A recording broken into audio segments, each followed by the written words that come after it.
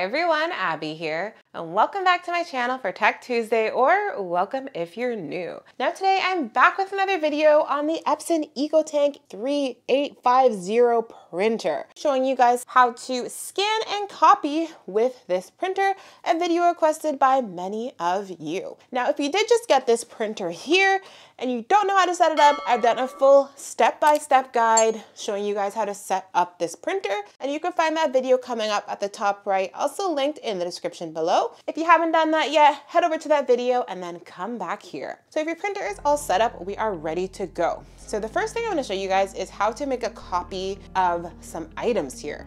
So the first thing you're gonna wanna do is turn on your printer. The printer is now on, you're gonna see the screen light up here. Now you're gonna grab whatever paper or you know document that you do want to copy. So I just have a little manual here. So I'm just gonna copy the inside pages. So I already have a piece of paper in here, which was just some scribbles. so I will, you know what, actually I'll show you guys that first, why not? So what you're gonna do is you're gonna put your paper and you're gonna line it up to the little arrow in this corner if I was using this one, I'm gonna line it up. I'll show you guys how to copy both of them. So there's that. So once it's lined up, just gonna close it. And then you're gonna come down here. So now you're gonna use the little touchpad here and you're gonna press okay to the copy. All right, so now you're gonna choose your options here. Now you're just gonna use this to select everything once again because this is not touchscreen. So you can choose if you're gonna be printing in black and white or color. I'm printing in black and white. You can choose if you want it double-sided. I'm gonna do one-sided first and I'll show you guys the double-sided next. I'm just gonna leave that as one-sided for now. I'm gonna go back. You can choose how many copies you want right over here. So just use your arrows to go there. Once again, you can choose as many copies from 1 to 99. I'm just gonna do one copy. And the last thing is right down here. So this is like the darkness that you want it to be copied as. If you want it to be copied as is, leave it in the middle there with a zero. If you want it to be lighter or darker, you can go ahead and use the plus and the minus button to change that, but I'm just gonna leave it at zero. Once you are done that, you are going to click on this button right here. I'm gonna pull out the little tray. So I'm gonna click the copy button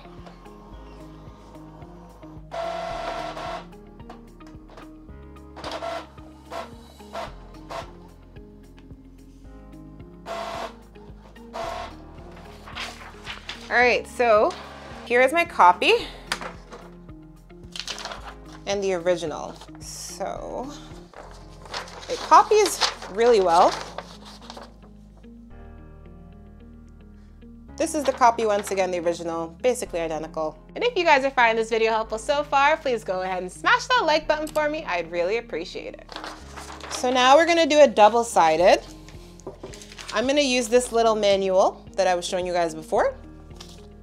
So same thing, you're just gonna go ahead, line it up to the corner here, close it, and then you're gonna come right back down here. So the only difference I'm gonna do now, I'm gonna change this to two-sided, and then you can choose the orientation. Now they only give you the option to choose really the orientation if you're doing it two-sided. So I'm just gonna leave mine as landscape. I'm just gonna leave it at left edge, or you can change it if you want to do that. Once you are done, click done, and now we're gonna do the exact same thing and press the copy button here.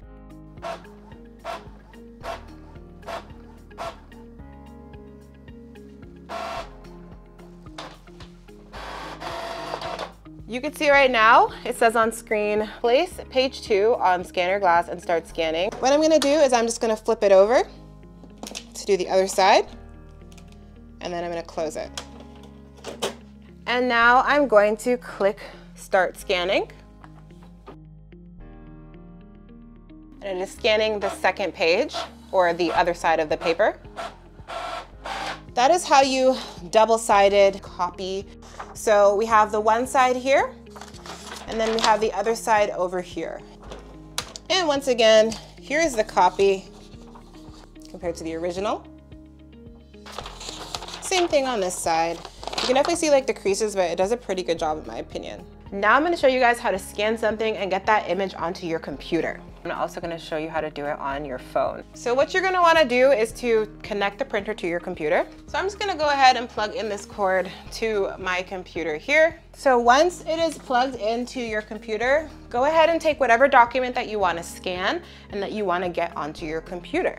So once again, I'm just gonna use this thing here you can use whatever you want. I'm just gonna add this little thing here because it's in color, just to show you guys an example of some color. I'm gonna put that right beside it and close it. All right, so if you do not have the scanning software on your computer, you do need to download that first before you can get the, you know, images to scan directly into your computer from the printer. So if you don't have this installed on your computer yet, just use the link in the description to install the Epson Smart Scan feature. So we're gonna click on search enter the product name. This is the ET3850. Comes up right here. We're gonna click on that. So now we're gonna choose an operating system. My operating system is the Windows 10 64-bit. If you do not know what your operating system is, you can click on, for a PC, like a Windows computer, you can go into the help section and click on About PC and pull that up. And then you're gonna find that your system type right here. Mine says 64-bit operating system. If you have a MacBook, open up the settings, then type in about in the search bar. And then you're gonna do the same thing there and you're gonna see what type of version your operating system is for the MacBook. So once you get here, they're gonna show you something recommended. Just head on to drivers and you're going to install the scanner driver and Epson Scan 2 utility. So this thing right here, I'm gonna download that gonna open it, gonna click yes. And now we're just gonna follow the prompts, you know, might take a couple of minutes. Read through the terms and conditions if you want to. I'm not your boss, do what you wanna do. I know no one really reads that stuff. Now we're gonna wait for it to install. So I'm just gonna skip forward in this section because you guys don't want to wait a few minutes for me to wait for this thing to load and install. Once you're done, just click on finish. I'm just gonna click on close because I really don't care about that. So now I'm gonna open up the Epson scan. This is connected to the printer. So we are ready to go. Just select the printer, it should show up here. You can go ahead and you can click OK. So now we're gonna come over to the printer, click on scan, click OK. I'm gonna click on OK for computer. It's gonna tell you to download that stuff, which we did. So you can dismiss that. I'm gonna say don't show again because we already did that. I don't need to see that again. So the next thing is you're gonna click on USB connection. So now we're gonna click on this little diamond and we're just waiting for it to scan. It's gonna show a preview on the computer as well. All right, so the scan is complete. So coming over to our computer, we can see our copy here. So we can see the little um, you know, manual that was there as well as the other page. You can zoom in if you want to, zoom out just to double check if everything's good. You can go ahead and crop it, which I'm gonna do because there's a lot of excess space there. So I'm just gonna leave it here, press okay. It's warning you if you're cropping it, you can't go back and uncrop it. So I'm gonna click yes. So here is the document that I have. If it was good when you scanned it, you don't need to crop it, then you can just ignore that step. Just showing that in case anybody wants to do that. You can also go ahead and you can rotate the page. And this is the preview. This is what it's gonna look like. So click on next and you can go ahead and you could save it. You can attach it to an email, send it to your Google Drive and more options. I'm gonna go ahead and click save. You can just go ahead and name it. I'm gonna name it demo and then you can choose the type of file you want to save it as, whether it's a PDF, JPEG, or other. I'm going to leave it as a PDF, and you can just put it to whatever folder you can browse. So I'm just going to put it to my downloads, but you can send it to whatever folder you want there. Click on save, and it is now in my downloads folder. And you could see that it did get all of the detail there, and it's done really well. So here is the file. Now, if you have other pages to scan from this point, you can just go ahead and you can just, you know, keep scanning pages. Just follow that same process. All right, guys, so now I'm gonna show you how to scan documents to your phone. So you're gonna need to install the Epson Smart Panel app. That looks like this. All right, so once the app is installed on your phone, you're just gonna open it up and then we're gonna connect the app so you can scan and you can even wireless print. Um, I didn't show you guys how to wireless connect to your phone in my last video, so this is, you know, an option now. So once it's done, I'm just gonna click agree. You can read through all the privacy statements if you want to. So it says you have to share your location and then click next, next, next, allow, and searching for products. On the phone here, you can choose to set up a new product, you can connect a product that's already on the Wi-Fi, add a new Wi-Fi connection, connect via IP address. So my printer is already connected to my Wi-Fi, so I'm gonna click on connect to a printer already on Wi-Fi.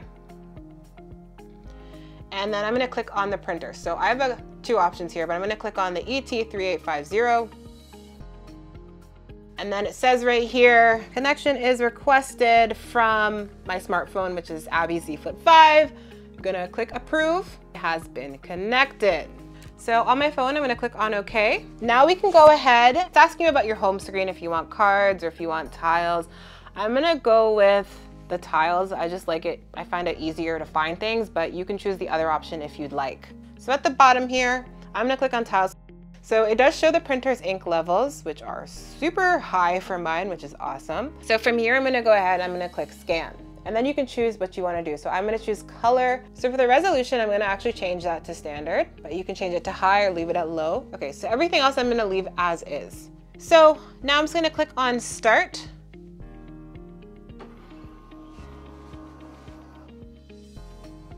And on the printer, it does say scanning the original. I do find that the scanning process is definitely slower than the printing. All right, so basically the exact same thing as the computer. We see a preview image on the phone and I'm gonna go ahead and crop that, but if you don't wanna crop it, leave it as is. But for me, there's a lot of wasted space there, so I'm just cropping it. So this is what it looks like all cropped in, very clear, looks great. So from here, I'm just gonna click on next. But if you wanted to scan something else, this is your chance to scan another page. Switch out your pages and then keep going. So once you scan all your pages, click next, and then it's gonna give you a file name once again. You can name it whatever you want. And for location, I'm gonna click on documents and use that folder.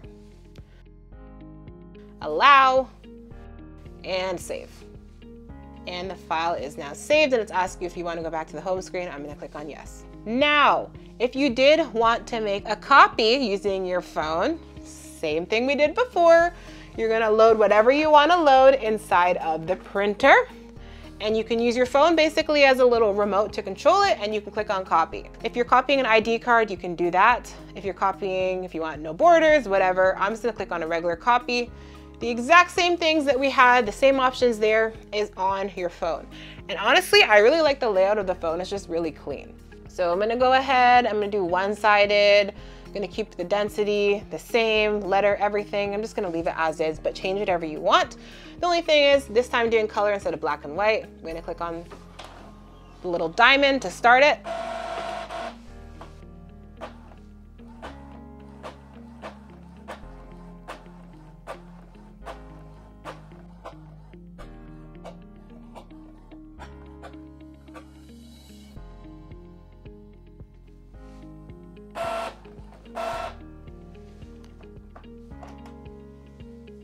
It did print the pages. This one did get a little bit crooked when I opened it up. it did print that and it did it really well. Now, if you guys are looking to pick up the Epson EcoTank E3850 here, I've gone and left a link down in the description below for you to use. If you were able to successfully copy, scan, whatever you wanted to do, what you came to this video to see, then please go ahead and smash that like button for me if you haven't already. I'd really appreciate it. And while you're there, you might as well consider subscribing, help the channel grow. I do drop in new videos every week. Other than that, I just want to do a quick update on this printer. I've had this printer for months now.